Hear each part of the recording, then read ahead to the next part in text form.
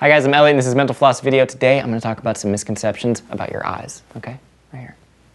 Stay with me.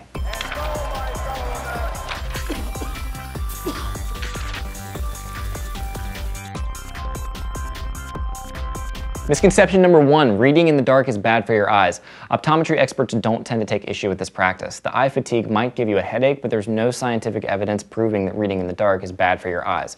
Although it's worth mentioning that there haven't been any long-term studies about this specific phenomenon. Many studies about eye ability have determined that it's primarily genetic, though environment probably has a role too. And one study conducted in Australia found that children who spend a lot of time indoors were more likely to develop short-sightedness than children who played outdoors more often. So daylight may be good for your eyes, but experts don't think think that reading in the dark is bad for them. Misconception number two, sitting too close to the TV is bad for your eyes.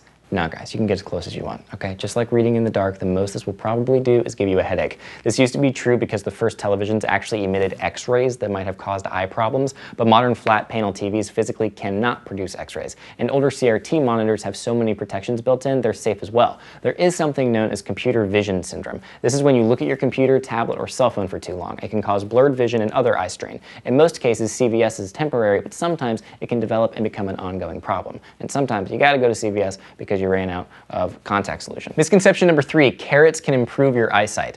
This is a very simplified version of the truth. Basically, carrots contain beta carotene, which your body uses to make vitamin A. And good eyesight is dependent on vitamin A, but you only need to consume a very little amount of it. You can also get it from other foods like cheese or milk. It's a total myth that eating carrots will give you better vision. Misconception number four, wearing contacts or glasses makes your eyesight worse. If you wear contacts or glasses, you might wonder why you consistently need a stronger and stronger prescription, and you might blame that on on your vision becoming worse because you wear corrective lenses. Not true. It's probably just because you're aging.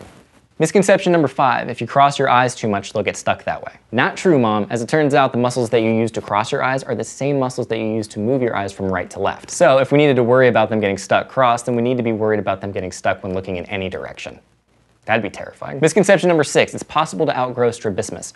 Strabismus is the medical term for what most people call a lazy eye or crossed eyes. According to the American Optometric Association, this is a condition in which both eyes do not look at the same place at the same time. It occurs when an eye turns in, out, up, or down and is usually caused by poor eye muscle control or a high amount of farsightedness. A lot of parents are told that their children will outgrow strabismus, but after the age of four months, it's a condition that needs to be treated or it could get worse. Misconception number seven, surgery cures glaucoma. Glaucoma is a damaged optic nerve and there are a lot of effective treatments for it, including medications and surgery. Those can help protect the vision that a person still has, but neither medications nor surgery will be able to restore the parts of the optic nerve that have already been damaged. Misconception number eight, a contact lens can get caught behind your eye.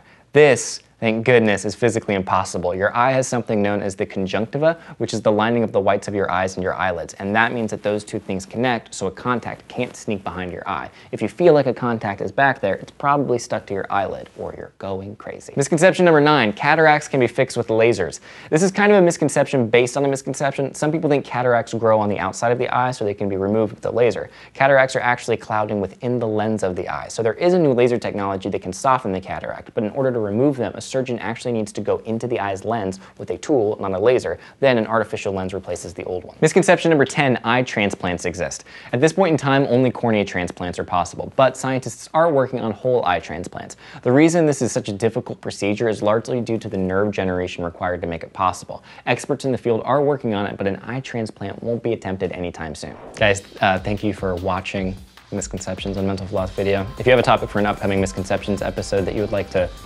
see, leave it in the comments below and I will see it. And I will see you next week.